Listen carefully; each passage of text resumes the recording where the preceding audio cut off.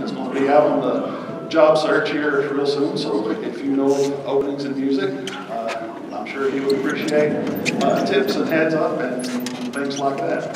Mr. Gill.